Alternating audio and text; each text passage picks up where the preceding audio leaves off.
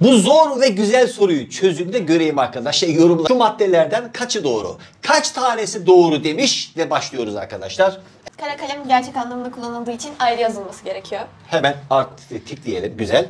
Hem yapım eki hem çekim eki alma sözcük. O da var hocam. Sevgilisini var. Sevmekten sevgili olmuş. Orada ve ekleri var. Görmekten görünmek olmuş. Zaman ekleri yapım Evet. eki. Neyi zaten yapım eki. Bir de düzenleyicinin de altını çiz. Çünkü Çizdim. hem fiilimsi var hem de iyilik eki var. Süper. Evet hocam. Bir sözcükte üç tane ses olayı var demiş. Elif var mı ya? Var Bir ke- hocam. Nerede var? Hadi. Hocam burada resimden i düşüyor. D, T'ye dönüşüyor. Ve burada da K yumuşak G'ye dönüşüyor. Harikasın, manyaksın, çılgınsın. Süper. Farklı türde belirteçler, zarflar. Nerede var? Hocam şimdi hiç burada durum zarfı oluyor. Hiç görünmemişten. Daha önce de zaman zarfı Zaman. oluyor. ilk kez de durum. Arkadaşlar not alır mısın? Hiç durum zarfıdır, hep zaman zarfıdır. Siz söylemeden ben söyleyeyim arkadaşlar. Nesnesine göre geçişsiz mi? Hocam nesnesi yok. Zaten nesne yok. Yani cevap E.